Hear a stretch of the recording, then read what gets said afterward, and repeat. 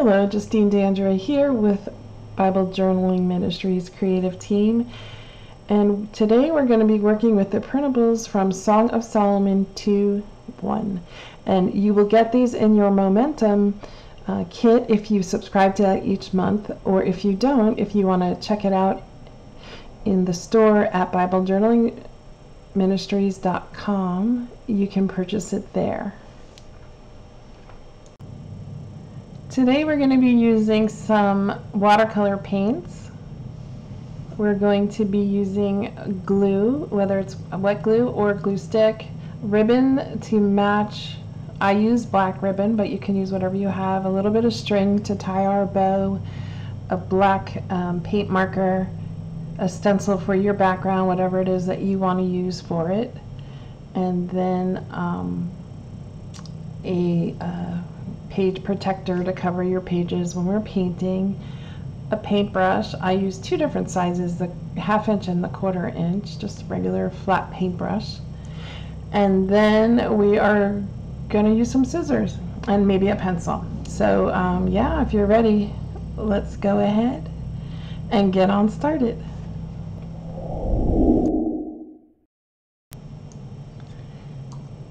I know I've told you before that um, I used to, or I work at a flower shop during the holidays, so floral designing and flowers are part of my my passion, and um, I kind of get drawn to doing flower arrangements. So I thought it would be nice to go ahead and to draw a um, container, like a um,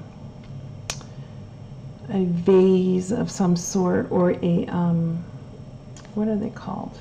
I can't think right now, but um, I'm starting by a centerpiece. I think maybe that's what I'm talking about. Uh, so I'm starting by just freehanding kind of the style that I want, like a pedestal type vase. And this does not have to be perfect. This is just um, for you to be able to put in your Bible. So do I, I want to encourage you to to draw and do the best that you can. So we're going to first kind of play with, around with it on a piece of paper.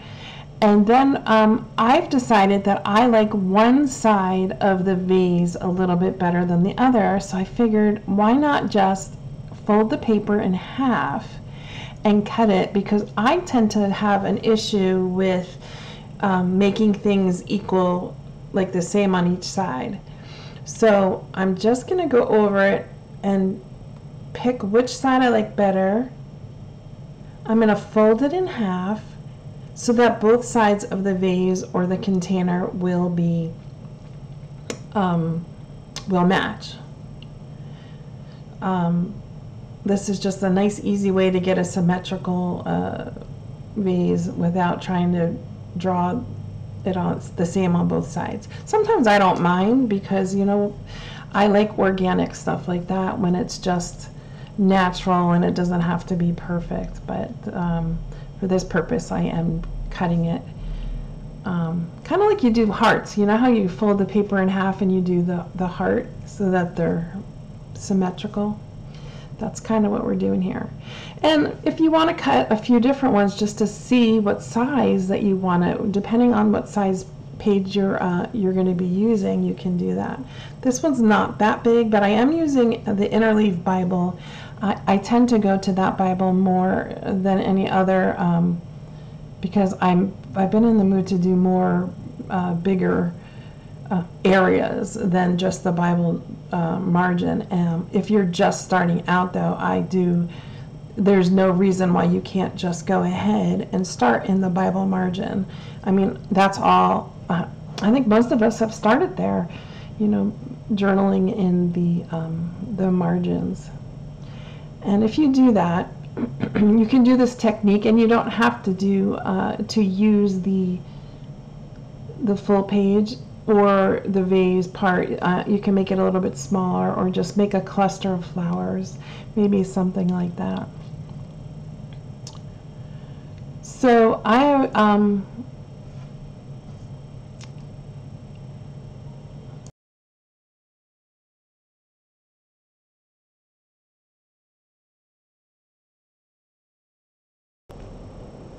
Let's go ahead and add a layer of gesso on to the page. We're going to use a clear gesso. Um, you might want to just be aware when you're buying gesso because I remember when I first bought gesso it was a clear transparent gesso and um, it had like a grit to it and um, that's good for when you're um, doing mixed media um, for surface surface preparation but for um, in your Bible you want to have just the without any grit or anything. And when we're using watercolors, you definitely want to put a layer of gesso on there because it helps to move around the watercolors. So we're going to go ahead and let this dry up. The technique that we're going to be doing is fairly simple. We're just going to be using a stencil and some watercolor but you're going to see uh, on the bottom of my page as we start that what what I do is I'm trying I was being daring because I had one thought in my mind and then um, when I tried doing it it didn't work out. So it took me a, a couple tries to figure um, figure out exactly how I was going to use the watercolor. When we're placing this um, down, I'm using a little bit of washi tape to just um, hold it there. You don't want to put washi tape, uh, the whole washi tape on your page because it will rip it. So you just, I just put a little bit on the edge of the, um, uh, I forgot what it's called, my brain. The template there, it's, it's not actually a template, it's, it's, um, holding that space so that we can draw in it. It'll come to me, I promise. I don't know. So I was going to try a reverse watercoloring here and I made it too wet and then I I really didn't like it. So um, you at this point you can go ahead and add water and take it off. I just didn't think quick enough. But if your paint is still wet, you can add water to it and you can um, you know, make it really um, washed out so you don't see it like I did. Then I'm just going through and I'm just kind of playing a little bit to see. So what it is is you don't want your brush, when you're doing the stencil technique, you don't want your brush to be very wet. You want to use a lot of the um, watercolor and uh, you want it to be intense, an intense color, but like more on a dry brush type of uh,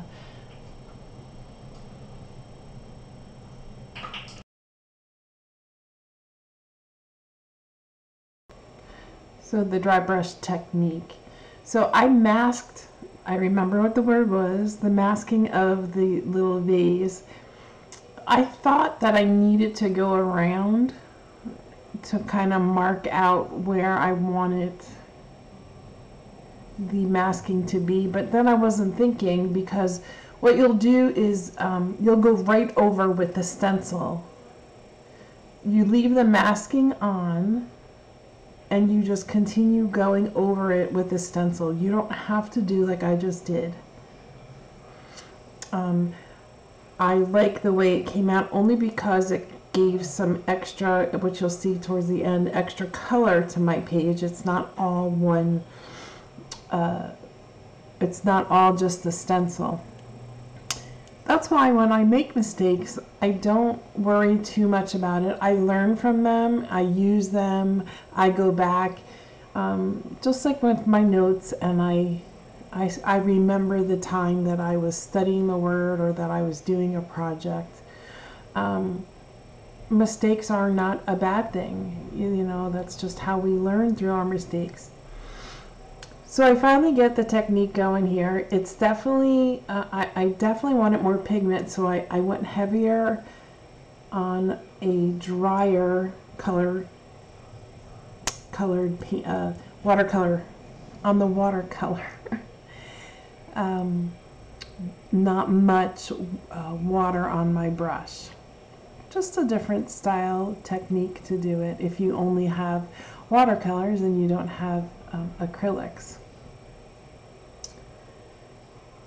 And I kind of chose the yellow mustardy kind of background color. You can um, change up the color too if you wanted to use more than one color. When I envisioned this, this is kind of how I envisioned it for myself. And I'm just moving the stencil around. Now this is where you would leave your masking on and then you wouldn't have to worry about going over it. So don't take your masking, which is that piece of paper that I had on there with the washi. Don't take that off until you're completely done stenciling. And like I said, you don't have to outline it the way I did. Um, I was just kind of playing with it a little bit.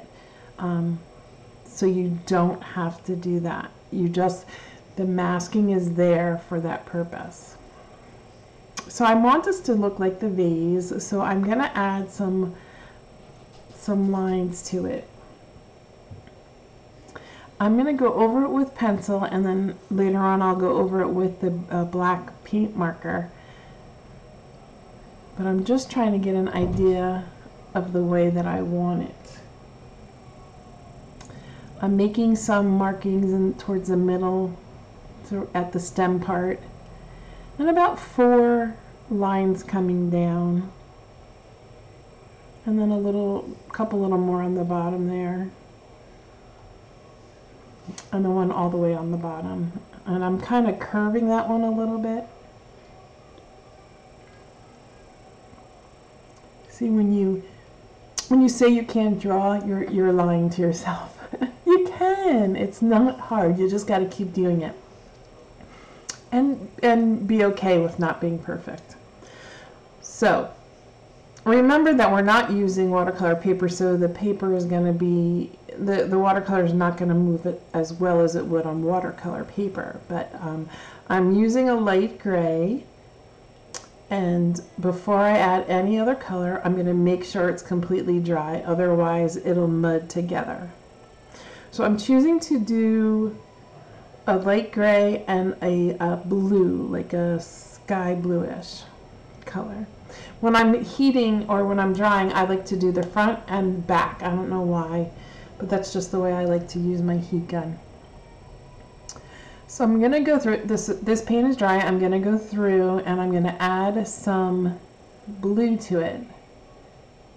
Kind of just to add a little bit of texture. And then I just kind of get a feel for how I want it to look. if you find that you add a little bit too much paint or it's too wet, just take a paper towel and you can um, take off some of the moisture from your paper. That's what one of the things that the gesso helps with is that it doesn't soak into your paper completely. Um, and I'm just going around the edge with a little bit darker color same color, just kind of adding a little bit of darkness to it. And then again on the bottom here. So this is my vase. You can make it, uh, you know, any color, any style. Just have some fun and, you know, be creative with it. If you're really that scared and you want to trace one, go ahead. But I encourage you just to give yourself a little bit of credit and go for it.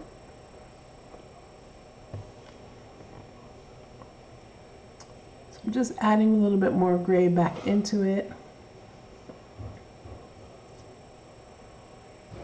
And then I'm going to dry it because um, remember we want it to set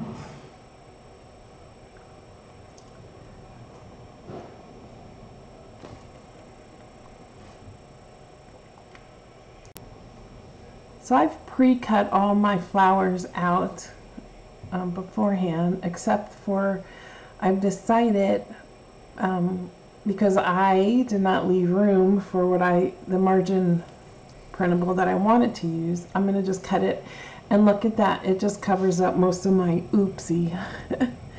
and I'm gonna leave that there. Then I'm going to use these flowers for the top part of my little bouquet, my little arrangement. So we're going to do an arrangement in the vase. I'm going to show you a placement, but if you feel like that's not what you like, then again, you know me, do your own thing. We're going to start placing the background foliage first. And what I recommend is kind of marking it out in three spaces. And in a second here, you'll see what I'm talking about. I'll, I decide to go ahead and draw. my mind is all over. All right, I'm going to use my Posca marker or my paint marker and I'm going to outline outlining the lines that I drew with the pencil because my paint is dry. You definitely have to wait for that to dry. I added a couple little dots there and then a couple thicker lines.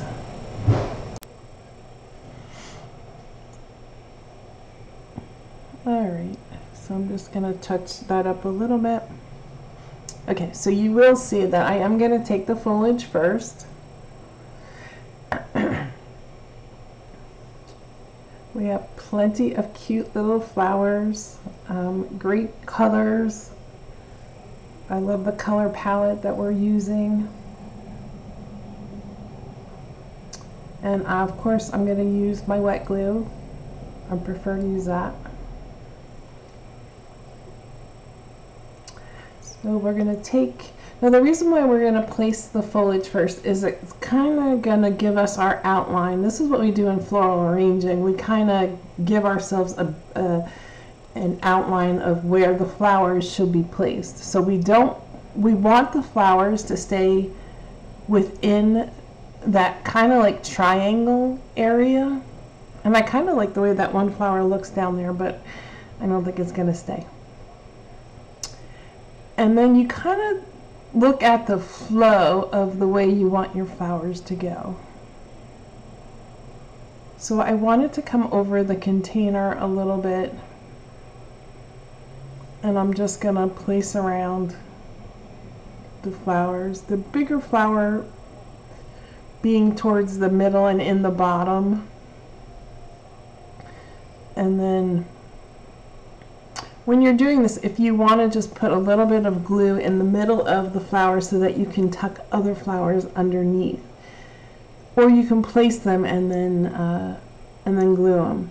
I find when I'm working with stuff like this, if I don't, if I place them and I try to move them and replace them, it just doesn't look the same. So when I place it somewhere, I just go for it. And again, like I said, I'm just going to let them go over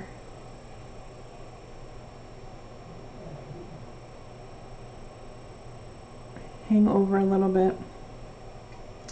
A cutie patootie right there. And just assembling them and notice that I'm staying within that, um, that triangle with the foliage. Then I realized there's more that I didn't cut out, so I'm going to go ahead and do that very quickly. And I want to remind you, if you if you want to um, be reminded of when new videos come out or a new product, then be sure to like and subscribe, and to join the uh, the Bible Journaling Ministry um, newsletter because um, you do get a free um, printable with that with some with uh, samples of what's in Momentum. If you know if you're not uh, ready to purchase momentum yet, but you'd like to try to sample it out, then um, join the newsletter. Tracy's really good about not, you know, doing a lot of mailings, so you won't be bombarded with all that. and of course, I always encourage you to um, show us what you've done, or kind of maybe just say, you know, oh, this inspired me to do this, or or whatever, um, to post pictures. We always love to see what you guys are working on. It's fun to, to go through and and see what everyone's doing. And as always, this is a time for you to be just spending with the Lord and meditating on the verse, thinking about what it means to you, what stands out to you, what He wants to speak to you during your creative um, worship time with the Lord.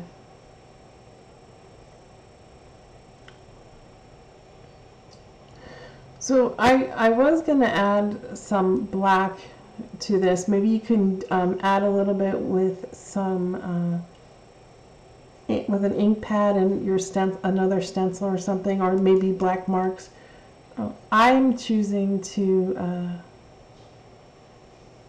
use a piece of black ribbon. I just think to balance out the page, it needed a little bit more black to it. You can, uh, you know, try doing it that way. Adding two of the bigger flowers towards the bottom, just to use up those cute little flowers. You can use the washi tape on the paper that um, are on the printable. And then add that one cute little flower up there. Using all the smaller flowers. I'll use the other bigger flowers that are part of the printable set for um, maybe the uh, illustrated faith page. Maybe I'll do that. Or you can use it in a mixed media book if you don't have um, a Bible journal or journaling Bible. so here, this is what I was thinking about adding maybe something with a little bit of black ink, but then I decide, um, to be honest with you, this is one of the God moments because it was just sitting on my desk. This little piece of black ribbon that I had, it was crazy. I was like, okay, Lord, I'll, I'll just use that. I love when things work out, you know, like that. That it's just kind of right in front of you. How many times do you, there it is. it was just sitting there. How many times does that happen? God places something in front of you and you're like, you don't even realize, you know, because we're so busy searching other places that um, we don't see what's right in front of us.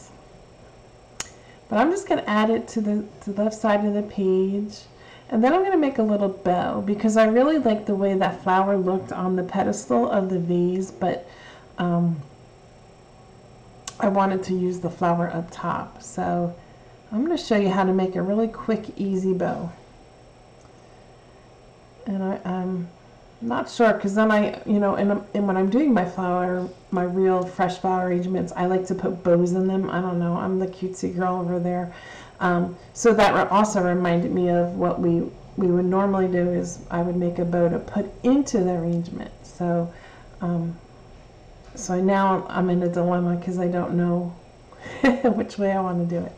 But all you need to do is grab, you can uh, grab the same color, but I had some twine that um, had the pink and the yellow, and I thought it might be nice to add to the page too, just to give it a little extra something. So what you want to do is, I'm going to show you a real easy way. Normally I would make a bow, but because it was too short. So just crisscross them and then push the other uh, back piece up and then tie the ribbon around it. So it's just making a cross and then taking, you know, maybe you want to slow down that part a little bit so that you can see how I did it. And then you just tie the, the string around it in the knot. So see, I kind of like it there, and then so I was like, no, it looks better there. It kind of balances a little bit better being up, uh, up there. And I'm gonna just use regular, my regular white glue in there. You probably want to use that instead of like the uh, glue stick because that probably wouldn't stay in your in your Bible. Alright, and I'm going to add a couple little touches. I hope that you've enjoyed this time together. I know I have. And um, I hope that you will show us um, what you have created. God bless you and keep you. And we will see you next time. Thank you, everyone. Take care.